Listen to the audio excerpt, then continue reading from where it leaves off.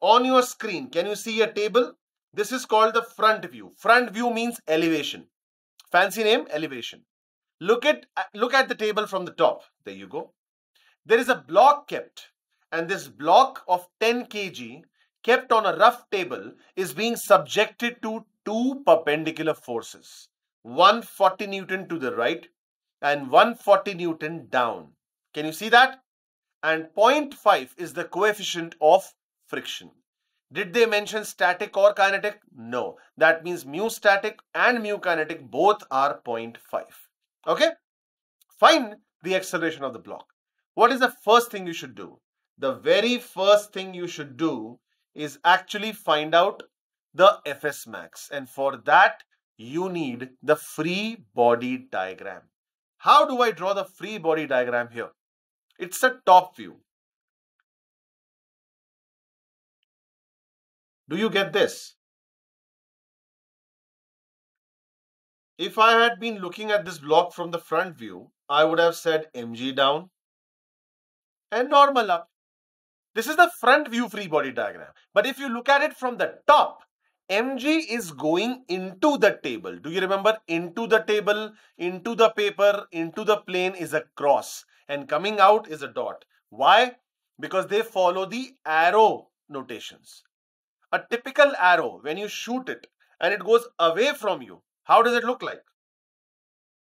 When an arrow goes away from you, how does it look like? It looks like a cross, the last part of the arrow. And when something is coming towards you, what does it look like? The pointy side of the arrow, right? The dot. That's why mg is into the table. Normal is coming up towards you to the table. From the table, sorry. So, n is equal to mg because nothing is happening perpendicular to the table. So if n is equal to mg, mass is 10 kg and g is 10. So 10 times 10, 100 Newton. Any question whatsoever? No. Fs max is equal to mu sn. There is only one mu here and that is 0.5. Can I write 0.5 as half? Good. And what is what is the normal reaction? 100. So my friends, Fs max is equal to how much? 50 Newton. Any questions whatsoever up till now in what we have done? No.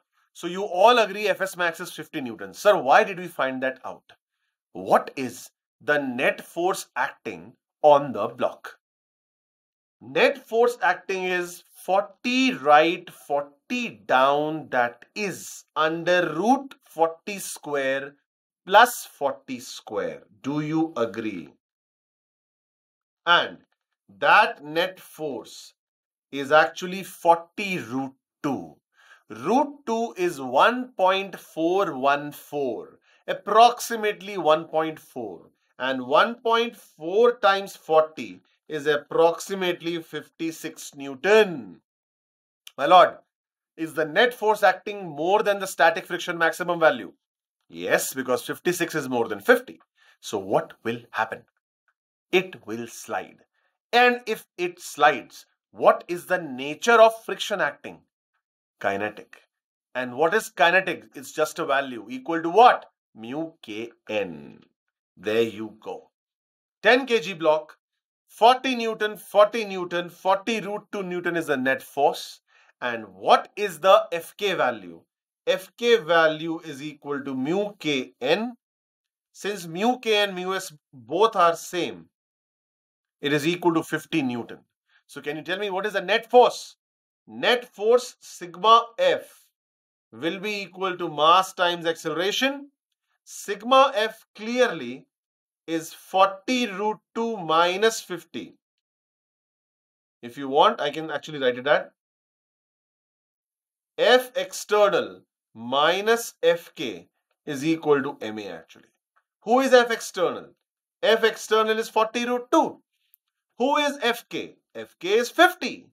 Mass, what's the mass? 10 and times acceleration. And what is the direction of acceleration? Clearly along the F external. 0, 0 and 0 gets cancelled. As per my calculation, I am getting 4 root 2 minus 5 as my acceleration and voila 4 root 2 minus 5 meter per second square is your acceleration. Why did I take this problem? It looks so simple, I agree. But I wanted to show that this, the friction is responding to the net external force. That's why.